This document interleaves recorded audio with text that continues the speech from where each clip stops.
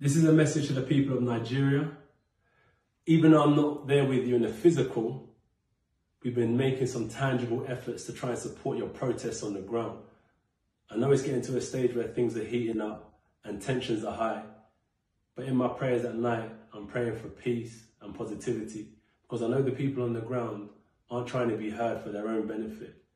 It's in benefit of the next generation. Me, myself, I've had to take time to understand the issues that people in Nigeria are facing.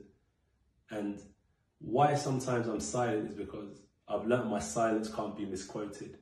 So me and my family and my close friends have been trying to do some tangible things and we're organizing many, many care packages for the people on the ground. So even though I'm in my training camp and we're in London, we can support you guys from a distance. December the 12th, I'm competing, and after that, I'm going to try and make some plans to come out to Nigeria and meet some of my friends and family and meet some of the people trying to make some long lasting change. But for sure, from London and far and wide, your voices are definitely being heard. So keep on pushing, keep on striving. You have my support through and through. My ears and my eyes have been opened. I understand the issue you guys are facing. And for some people, what I'm going to do alone is going to be enough. And for some, it may not be enough.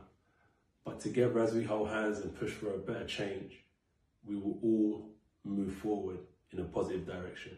So keep on pushing.